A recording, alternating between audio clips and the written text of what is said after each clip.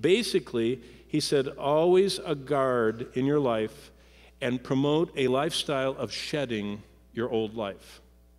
Uh, something fascinating happened to me this week. you know, it, we had our snow day. Actually, it wasn't a snow day. I worked that day, but you know, it was a snow day for the office, and uh, and and so I decided that I would conquer that heavy, wet snow. So I shoveled three times, and and so I wasn't going to let it stay. I just kept going out and shoveling, and uh, I was sitting at lunch with Bonnie, and and and she was smiling at me, but she kept leaning closer to me like this. And I was just all excited to know what she was going to do. And so I was smiling at her. And she kept leaning closer to me and she said, Are you growing a mustache? And I said, I'm not growing a mustache. It's snow day, so I didn't shovel. I mean, I didn't shave. I shoveled instead of shaving. I said, It's snow day. I didn't shave. I shoveled. And she looked at me and she said, and that much grows in one day? I said, yeah, you know, I, I mean, I should have shares in the razor company, uh, you know, because I use a lot of them. What was interesting was that normally, you know, I get up in the dark and I shave, and when she sees me at lunch, I don't look that way. And so she saw the normal me and saw the presence of something that wasn't normal. Now, think about that. And she's close enough to me that she was scrutinizing me and saying, Something is changing. What are you doing? Now, look down at these verses because it's talking about the church having the same relationship that, that Bonnie was having with me in our accountability to each other. We're all supposed to be looking at each other and saying, are you putting off, verse 22, concerning your former conduct, the old man that grows corrupt according to deceitful lusts? Are you doing that? Because I can see, I see it growing back. I see you acting like you used to. I see that, that anger. I see that, that boastful, that pride, that, that centrality of your desires and your needs, and that's all you're thinking about. I, I see that anxiety. Are you growing an anxious mustache? You know, are you growing? Uh, it's coming out of your life. Did you know that people close to you should see a decrease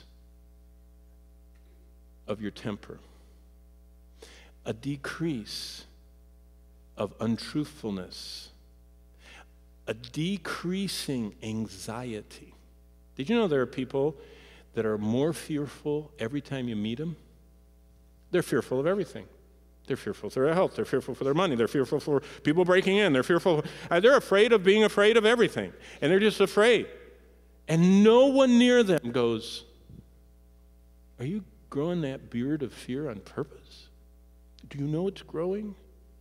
You're supposed to, verse 22, be getting, putting off, shaving off, getting rid of, concerning the old way you were, the old man, the, the, the pre Christ you, the, the one that's corrupt with lusts. But it isn't enough just to shave. Be renewed in the spirit of your mind, verse 23 says. And put something new on top of that. Put on the new man which was created. Note, Paul describes the actions after the Ephesians were saved. Look back, the, the saved is verse 17 to 19. And testified, no longer walk as the rest of Gentiles walk in the futility of their mind, verse 17.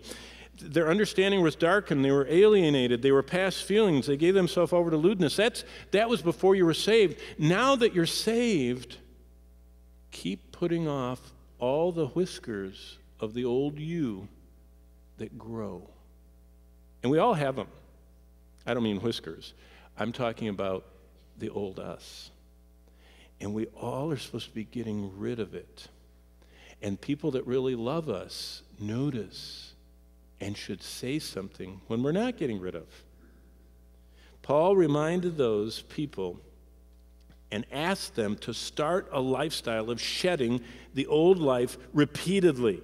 Old habits, like old clothes, are so comfortable, they fit us so well, we often forget we even have them on. Until the Spirit of God convicts us through His Word and through those around us. And Paul was reminding that those who live a life holy to the Lord must repeatedly put off the old ways. And if we struggle with anger, anger has to be shed daily. And if we struggle with pride, pride has to be shed daily. And this is the choice we make for lust and greed and fear and any other byproduct of our flesh. And most believers that fail to grow in their spiritual lives fail to grow because they do not understand the lifelong need to shed and get rid of the old life. They just think God's going to do it all. Let go and let God do it all.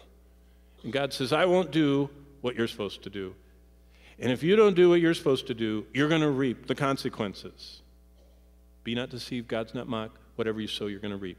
He that sows the flesh will from the flesh reap corruption. If you don't get rid of and put to death the flesh, and you allow it to keep coming back into your life and into my life, we are going to reap the corruption of our relationships, of our joy, of our fruitfulness, of our usefulness. It corrupts everything if we don't have a lifestyle getting rid of it.